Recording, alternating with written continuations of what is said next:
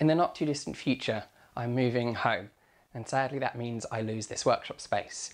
Where I'm going to won't have this kind of facility. So what I'm doing is building storage boxes which will contain the most useful tools and equipment and consumables, but still look good around a home. This is my first attempt at building something, and it's turned out looking quite good, I think. So it's uh, a few stackable storage boxes. They're three independent boxes which can be kind of stacked together any way round you want. They can also be locked together, and the whole thing can be lifted up and moved. The idea being each one of these contains a different type of thing. So for example, screws and fixings, glue and tape. And so you then unstack the one you're interested in and take it off to wherever you're working. To build these, I started out with 12mm birch ply. And for that I cut a base out and two short sides. Now the, these are potentially going to hold a lot of weight. So I needed a, a strong way to fix the base onto the sides.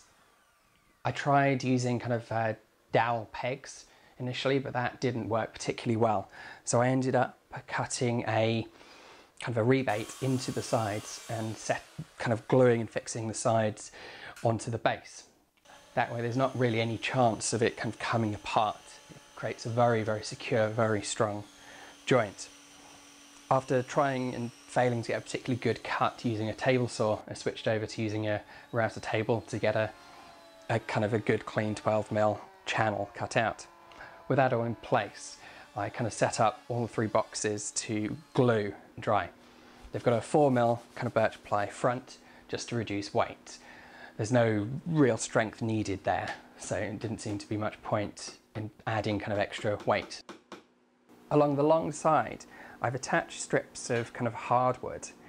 These act to strengthen the thinner sides and they also form the lips which allows the boxes to kind of stack and lock together.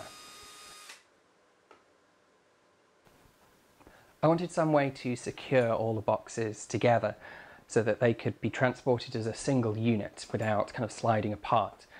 The, locking mechanism does a pretty good job. The stacking mechanism does a good job for that, but I wanted something a little bit more. So I used a couple of box latches along all the sides. Now I started out using a kind of quite a neat little latch, but the problem was it would, the locking piece would stick below the surface, so when you kind of sat a box down, it would dig into the ground, which is why I then subsequently changed to a slightly cruder style of latch, but one that would work very well for this application. Fixing them on was really easy. All I needed to do was locate and set up two pairs and then I just kept on rotating and moving the boxes around to use the alignment from one half of one set to fix the alignment of the other set. The boxes are all varnished on the outside, so every bit that you can see externally, I've used a satin varnish to give it a, a hopefully a tough, durable finish, but yet also retain the pretty decent finish you get from birch ply. Inside, I've used uh, just kind of a white kind of gloss paint. That, I've used that for two reasons. One, so it's easier to see what's inside when you're looking around, and also to hide some of the crappy glue joins which I didn't clean up before they dried. The lid is made from 12mm birch ply once again, but I've doubled up the edges a little bit just to give it um, kind of a slightly better appearance on the side and also to give me a little bit of space to put the kind of the kind of rebate in for the kind of stacking mechanism.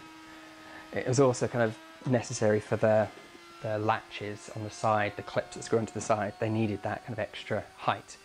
But the end result is, a, again, a top which looks good and will stack onto any individual box you want.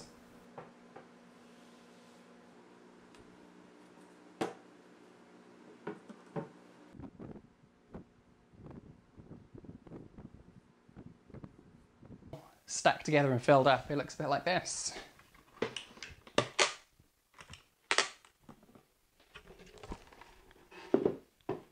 I've got all sorts of tape, electrical tape, gaffer tape, and other interesting bits and pieces in the top one. Next one down, I've got screws, nails, and all sorts of other fittings.